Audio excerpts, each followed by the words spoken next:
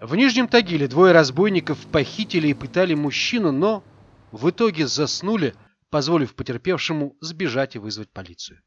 История, рассказанная сотрудниками пресс-группы отдела МВД Нижний Тагильский, изобилует специфическими подробностями совершенного преступления и поражает легкостью, с которой люди готовы нарушать закон. Все произошло в последний рабочий день минувшей недели в Ленинском районе Нижнего Тагила в Хрущевке по улице Космонавтов. Несколько месяцев назад квартиру в этом доме снял некий 33-летний Сергей, которому в пятницу в гости пришли двое ранее судимых знакомых.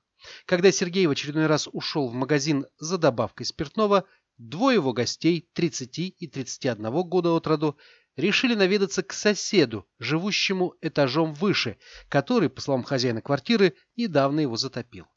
Дверь им открыл 38-летний мужчина на костылях со сломанной ногой и аппаратом Мелизарова, установленным на этой ноге. В ультимативной форме пришедшие потребовали от мужчины спуститься, чтобы вместе осмотреть последствия подтопления.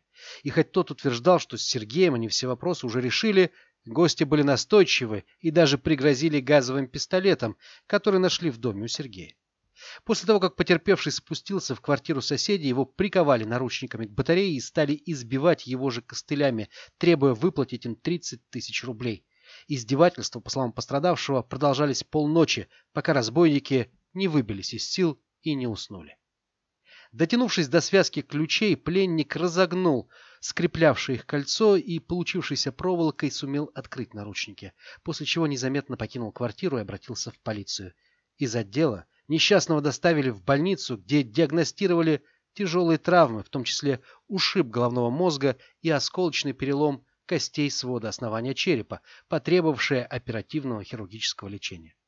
Разбойников полицейские обнаружили спящими на месте преступления. Не безинтересна судьба и того самого Сергея, на съемной квартире которого было совершено преступление он в полиции оказался еще раньше, чем его гости совершили преступление.